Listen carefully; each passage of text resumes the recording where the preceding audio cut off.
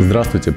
Приветствуем вас на канале Европлант Лайф. Сегодня мы приехали в садовый центр Европлант э, для того, чтобы посмотреть, как происходит подготовка растений в садовом центре к зиме потому что ну, непроданное какое-то количество остатков мы всегда тщательно консервируем на зиму для того, чтобы они на следующий сезон были также прекрасны и декоративны.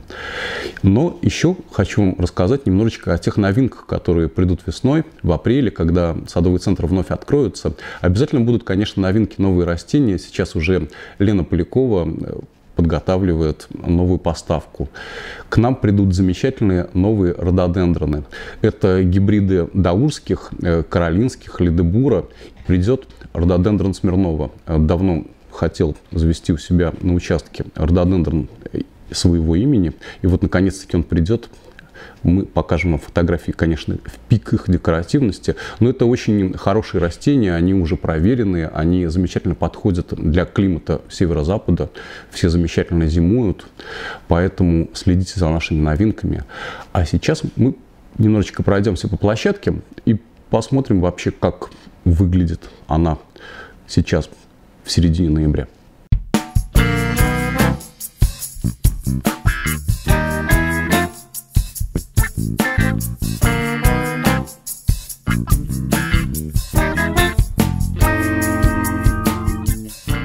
Европлант очень заботится о своих растениях, поэтому они выглядят декоративно весь сезон.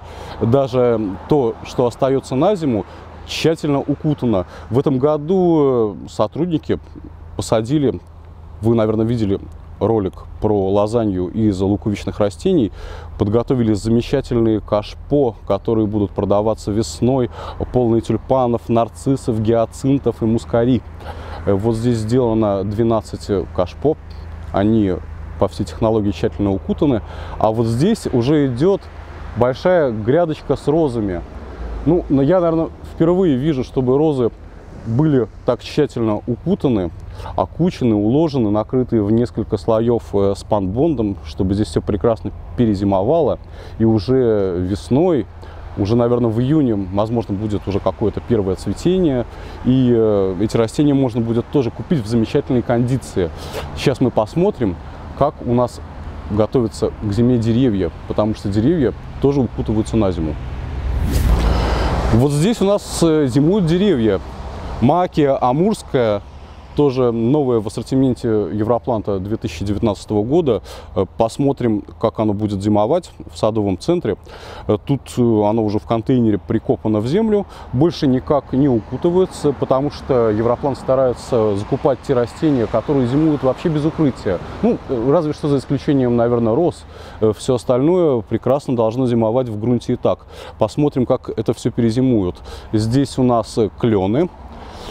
Клен платоновидный, тоже посмотрим, как он будет зимовать здесь.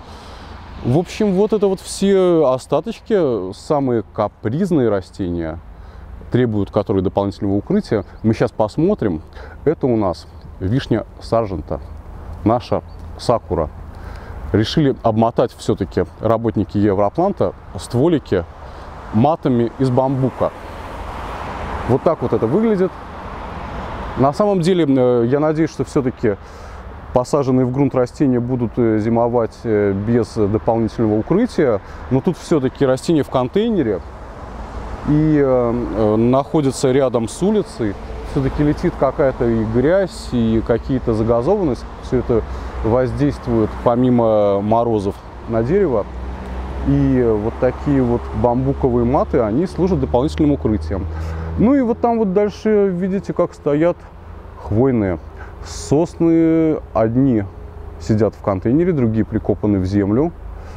Это тоже уже не первый год э, в таком состоянии прекрасно зимует. И весной мы посмотрим, как это все перезимовало. Потому что это тоже все очень интересно. А сейчас мы посмотрим, как у нас законсервированы многолетники.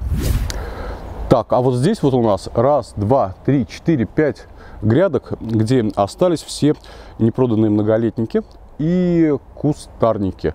То есть здесь сидят и гортензии, и лапчатки, и можжевельники. Все это уложено по специальной технологии.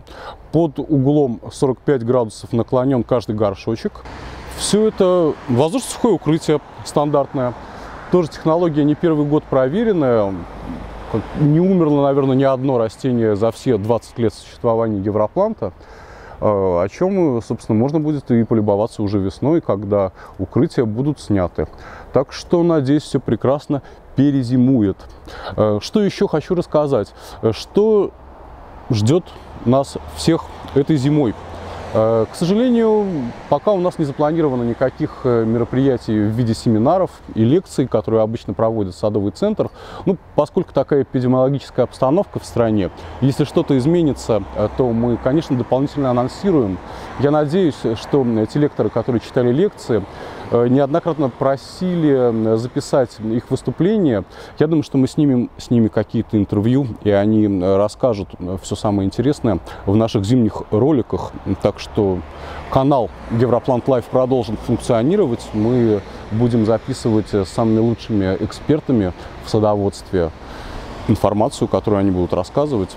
Все это, я надеюсь, на нашем канале будет по-прежнему. Ну и, конечно же, визиты в наш знаменитый ботанический сад Петра Великого, репортажи из открытого грунта, из дендрария, из оранжереи, они все тоже будут на канале. Так что продолжаем.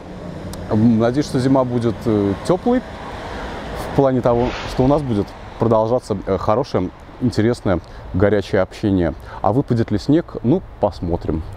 Всего доброго. Смотрите канал Европлант.